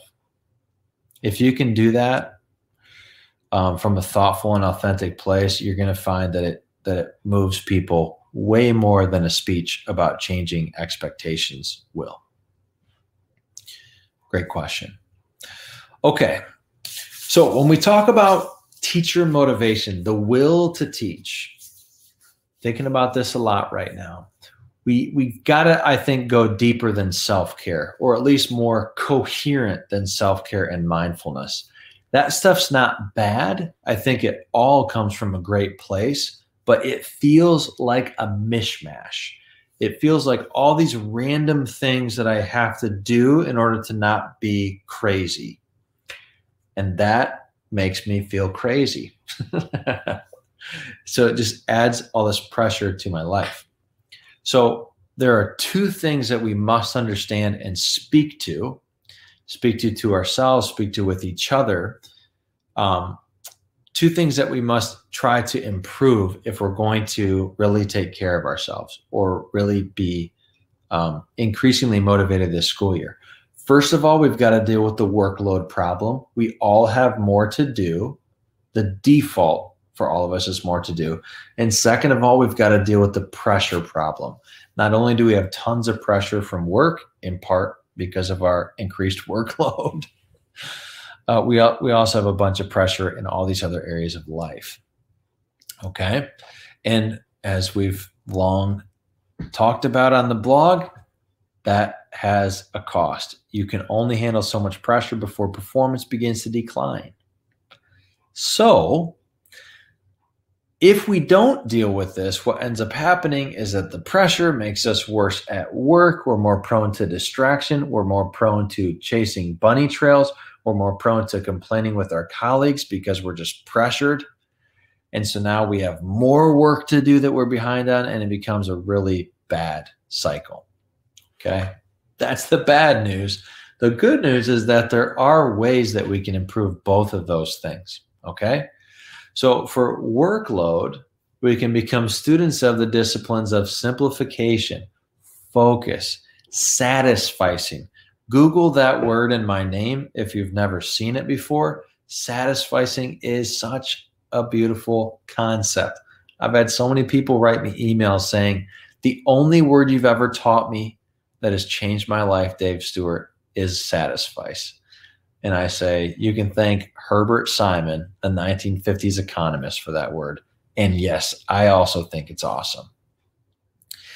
So those things on the left the, the these workload things, simplification, focusing, satisficing, being okay with repetition, using repetition wisely, those all will help us with the workload problem. And in terms of pressure, we need to think about depressurization methods for our intellect, our emotion, our body, and our social life. So the the the key is that you you've got to bridge these two things because if you're if you're listening to this and you're in a bad place motivationally, you might be thinking, dude, I don't have time to do all that crap that you just said. That's where placing constraints around your work comes in. The number one thing that you've got to do if you're going to start to make headway motivationally is you've got to place some limits on work. So that's where you talk with your your loved one, your your friend, your mentor, and you say, "I need a change. What in the world do I do? I've got to. I've got to just. I've got to. I've got to just have ways. sorry, uh, ways to make work stay in in its boxes. So maybe that's you working 70 hours a week because that's better than 80 the ideal would be 50, at most 60 hours a week. And so just calculate where where do you want those things to be worked in your week? And what constraints help you to do, what fixed schedule productivity helps you helps you to do. That's what Cal Newport calls it. Fixed schedule productivity is it forces you to do this stuff with workload. It's going to force you to have to simplify focus, satisfice, repeat, reduce. It's going to force you to do that because you don't have enough time to do everything that you want, everything that you think you have to do. Uh, to go back to Zach's question, it's going to force you to define what enough is, because enough has to be what I can what I can do. It can't be more than that. And it's also going to give you time and space to do these depressurization things. So this deserves a whole um, th- this deserves a deep dive. So, hey, announcement. I'm pretty sure I'm making a course on the will to teach. I'm going to make an online PD on the will to teach. It's going to be um, designed for people to experience in little little dabs of goodness, two to ten minute videos with reflective application exercises. If you've done my other courses, this will be most like the student motivation course. but it will be about teacher motivation. I think it'll be called The Will to Teach. So if you go to this link, davestuartjr.com slash WTT, you can sign up for the wait list. I think I'm probably going to release it on January 1st, 2021, because not much good has happened in 2020. I just don't want to start a course in 2020. So I'm excited about this. I'm excited about this because I'm I, I, think for a number of years I've wanted to make a learning experience like this, but I didn't have the the knowledge, the framework, the research chops to really do it justice. I think I'm there thanks in part to 2020. So if we if we make this really practical and not you know some tantalizing tease about a course, um, then what I would say is just start to think about self care a little bit more robustly and think about it as how am I depressurizing and how am I reducing workload? Okay. It'll help. It'll be nice. And now let's talk about boundaries because I've been hearing a lot about boundaries lately. When we shift to remote learning, we've had some conversations as a staff about boundaries that I've participated in, and I really appreciate them and love them. I think it's good boundaries are really what this bridge is. It's that's that's about boundaries. Okay, but the problem is a lot of us build kind of wimpy sandcastle boundaries. Wimpy sandcastle boundaries. I'm not making fun of you if you make these. I'm just saying we've got to do better than these because they don't function correctly. So, you know, I've heard people say one boundary that I have is I tell parents that I only check my email at these hours each day. Okay. That's wimpy. It's a sandcastle boundary. It's a sandcastle boundary because one, all that you've done, if, if, if, that's all you've done, you've just put out there another expectation on yourself that's going to produce pressure on yourself. You've made this kind of promise that complicates your life um, you, have now kind of given parents a sense of when when exactly in the day they can expect to hear from you. Uh, and and I don't know, like I'm not I'm not saying this is bad, but I'm saying it's really easy to cheat at this. It's really easy to pull out your phone or open up your laptop tonight when you're, you know, got the kids in bed and pull up your email. And now you've washed away that boundary because you're not actually checking your email when you said you would. That's what I mean by sandcastle boundary. They're so easy to break. So instead, you go back to the blog post I wrote a couple weeks ago and you say like, okay, email is now going to be like a like a physical mailbox for me. I'm only checking that thing one to two times per day. When I do check it, I don't want stacks of mail. I want to do something with the mail. I only handle it once. Ohio, my email. And so this means that I might have to make some quicker decisions. This means I might have to have my calendar open in a tab when I'm checking email because uh, my most the, the emails that always make me procrastinate the most are ones about scheduling. So I might have to have my calendar out. Um, and I'm for sure going to have to delete email the heck off of my smartphone and, you know, maybe, maybe do a Chrome extension so that I can't access email during certain days on my Google Chrome. Um, I don't spend much time on my laptop at home, so it's not really a temptation on my laptop too much. It's it's deleting email off the smartphone. That was a that was a Himalayan boundary for me. So good to do that. Okay. I'm just making sure our time's good. Yeah. Yeah, Carmen Cita. Little, little dabs of goodness. Um, really cool, really cool, really cool. Uh, so, th- so that's a thing that I want you to think about. That's something that's been helping me is Himalaya boundaries. I ain't talking to you about them. I'm making them reality in my life. And you will know implicitly you will figure out that Dave Stuart doesn't respond to emails at night because he just never will. I'm not going to tell you that I don't respond to emails at night. You don't really need to know that. You'll figure it out. You'll realize, wow, emails don't come back at night from this guy. but they tend to come back the next day. Okay. And that's good.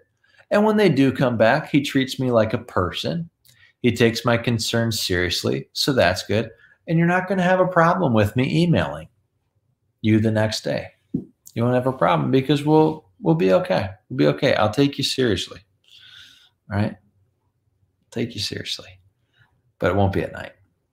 All right, now urge surfing. This is, I think this is my last thing. This this is cool. I came across this in the self control research, um, or maybe it was mindfulness research. But but this is a cool concept that I I thought sounded really dumb, but then I tried it and liked it. So urge surfing is about observing when you have a compulsive urge. So it might be around eating, or it might be around like um, you know, looking something up on your smartphone, like the news or social media or whatever. Or, or uh, what happens to me a lot is I'm trying to write a blog post and I'm annoyed that I can't think. And all of a sudden that urge pops up. Maybe you could just check the news. Maybe you could just uh, go to YouTube and see if, you know, that those AP World History teachers have made a new video that you could use tomorrow in class maybe you could just, maybe you could just. Urge surfing is trying to back away when you see yourself getting an urge to do something you don't want to do and going through a couple of things. So, first of all, what just triggered that? What happened inside of me that made me want to open up a new tab and go do something that I'm not trying to do right now? What triggered that? And you're just observing it and now you're going to watch. Now, now you're going to like watch this this urge go up. So now when you start to really want to click that button or you know shove 38 peanut m&ms in your mouth now you're just like watching how that oh that that desire is not going away. It's really there. You're going to watch it as it peaks. You're going to be like okay okay this is intense. I really want i'm really curious what's on you know uh uh, you know, Twitter. I'm really curious to see if one other person says something to me on Twitter. I really want to check it.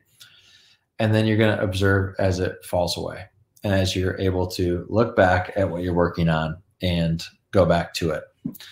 So, um, I find that this works best when it's like, uh, um, when when you're when you're doing something that is not super cognitive because you need some cognitive space to be able to observe. So, like, for example, when I'm with my kids trying to play with them and I want to all of a sudden go like look up something on the internet, that's when I'm really finding urge surfing to be very cool because I'm just noticing how like the types of things that trigger me to want to distract myself are are things really that make me feel uncomfortable. And a lot of times it's just like maybe a memory from work last week. And I'm like, ah, I don't know what to do about that. And it just instantly triggers me to, to want to go like just get something new in my mind, like like the news or check this website or that website or this this channel. Um, go to those places where I can just get a little novelty, which is uh, a way of I think escaping from those triggering things. So I just I, I don't know. I don't know. I haven't talked about urge surfing with my students yet, but I think that I will because I do talk to them about the importance of finding ways to make distraction less of a driving force in our life. And this seems like it would help. Okay, that was 10 or so things right there, my friends, my colleagues. That was 10 or so things. Now we're going to now we're going to drop it to a couple more questions. I want to know in chat all you Pacific time zoners, you're still here. Uh, you know, I think I think uh, my friend Brad in the in Cambodia, he's he's probably starting to teach class right now. But a lot of you are still here. Put in the chat what's most important to you? We've looked at so many things. I told you at the beginning of this session, this might be overwhelming, so don't be afraid to pause and come back next time. What's most important to you? What do you want to do next to move you forward? All right. Yes, Aaron Hill. Represent for the Eastern. Beth, uh, ah, oh, Beth, I love this. She last minute canceled a not important weekly check in meeting with her principal this morning because she needed to sleep. And she was proud of herself for taking this stand. Yeah, Beth just demonstrated to herself I'm the kind of person who will choose sleep over work sometimes. That's key.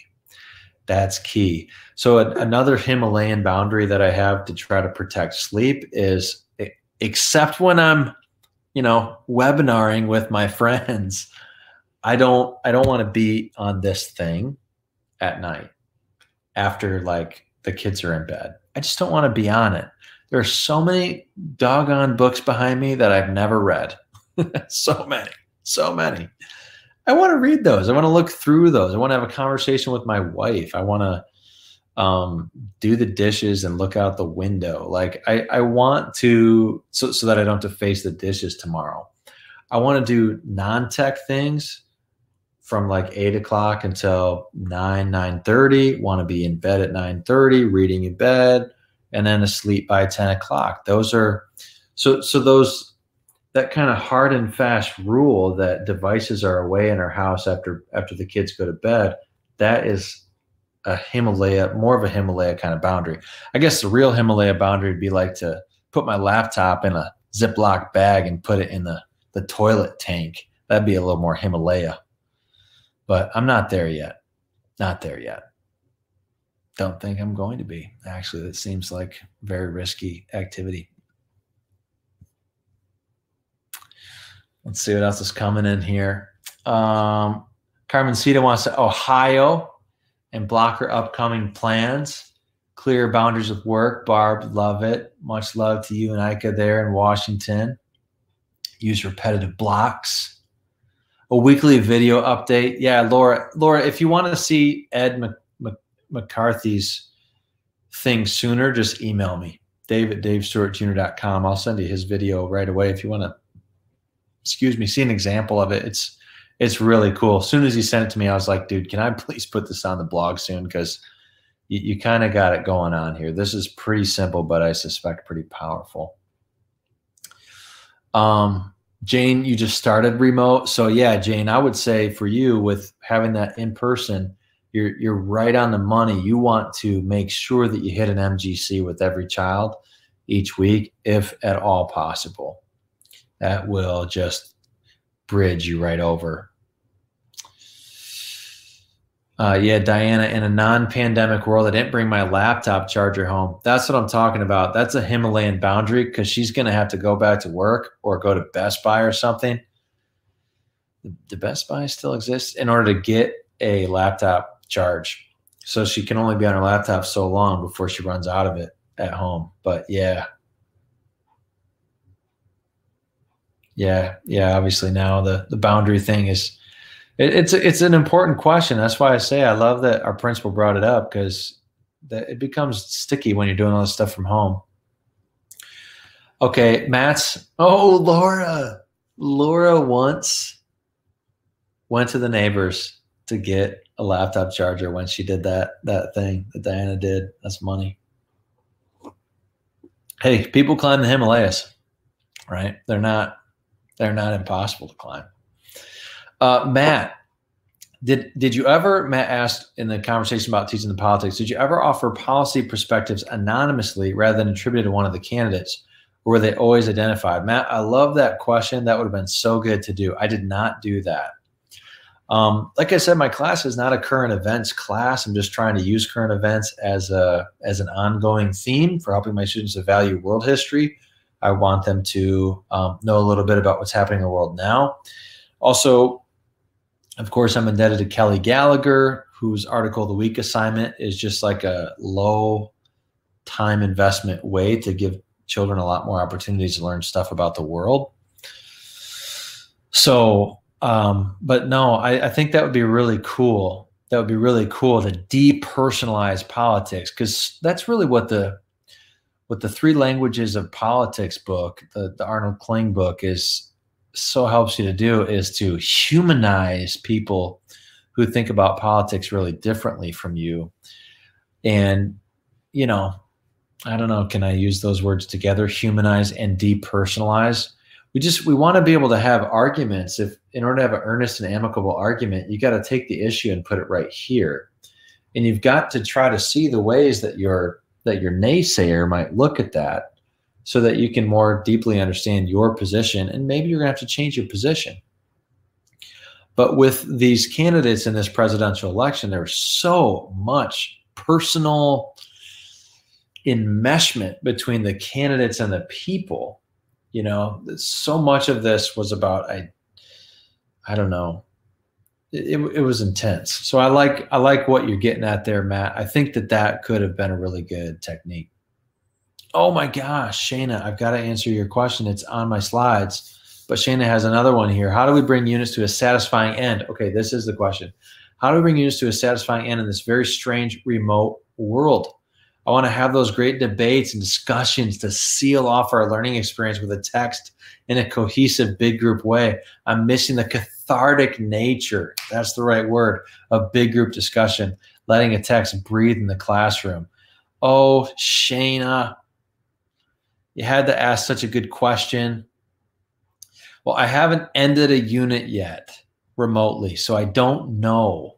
I know that in the past, a, a pop up debate followed by essay writing or essay writing preceding a pop up debate used to be such a fun way to end a unit around a text, such a cool way to have a true capstone and closure. As I said, I'm going to be trying to do this pop up debate thing through Flipgrid just because of how many of my students are not wanting to show video during Zoom. You know, like because because here's the thing in pop-up debate. Like rule one is when you talk, you've got to stand up and everyone has to talk at least once.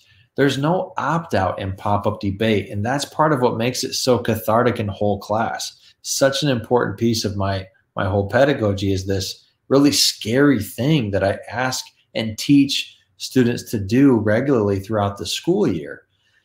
Well, that that really kind of is is removed with remote because it's like if if I don't have to turn my video on, um, you know, I'm, I'm kind of like I'm in the pop up debate, but I'm invisible type thing. So it just and then you've got kids ghosting and stuff. So I just don't know how to do it. I, I know that I don't want to require video. I can't. So I just, I'm doing the Flipgrid thing. Um, none of my students yet have asked if they can have their video off for that. So I'm sure that'll happen. And we'll just have to cross that bridge when it comes. But it won't be the same, Shana. It won't be the same. Ooh, Carmen Cita, though, she's got an idea. Try breakout rooms, do a Socratic seminar. I like it. Hey everybody, I I, uh, I, I really wanted to take a picture of this setup that one of my colleagues has. Uh, Chris Painter. He's um, he's the math teacher that that teaches across the hall from me. This guy has got two laptops, and one of them's hooked up to this like big old monitor that he commandeered from the from the video teacher. he's literally got three screens uh, one of the laptops is on Zoom, the other one's on the same Zoom. So this guy is able to, well, and he's big on group work and collaborative work. So he, so he's able to monitor two groups at a time on Zoom. He can kind of listen in. And you know, I mean, he's he's incredible at, at collaboration. Zach, he's the guy who you should come watch if, if you want to see what collaboration can look like productively remotely. He's the guy. Um, and he always makes fun of me because I'm so bad at what he's so good at. But we we love each other. It's okay. We can make fun of each other. That's fine. Um, we we have about a minute left, so I oh Kakai students use stickers to cover their face on Flipgrid. Don't tell me that. Your students aren't allowed to talk to mine. Okay, not until this is over. Um, it, with with my last 50 seconds before this program cuts me off, I just want to say thank you. Uh, Jane, I will ask Chris Painter to make a video. He'll probably give me a lot of crap for that, but I'll blame it on you. Um, I want to say thank you, everybody. Thank you for those who came live. Thank you for those who are watching the replay or listening to the replay. I need you to know that we are in such a partnership, you and me. The, the things that I do and make for teachers aren't possible without your incredible intellect and heart for this work. I'm not going to be motivated to do the things that I do. Um, I'm not going to be capable to do the things that I do without uh, your collegiality. So I send you so much love and appreciation, and I hope that you have a really good night.